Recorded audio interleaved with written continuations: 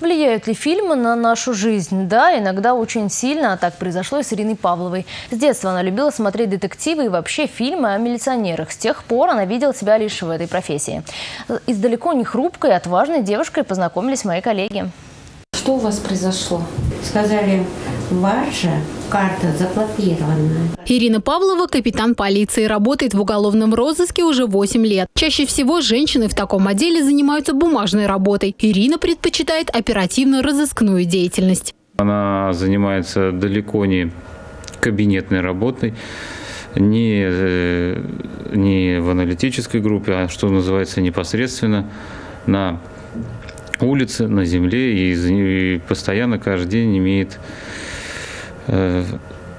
скажем так, контакты с тем обществом, которое является, скажем так, объектом нашего внимания ежедневно.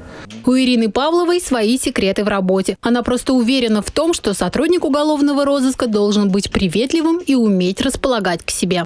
Нужно встречать все-таки, наверное, с мягким понимающим характером, потому что у него произошла и так беда. Он и так находится в состоянии стресса, ему тяжело.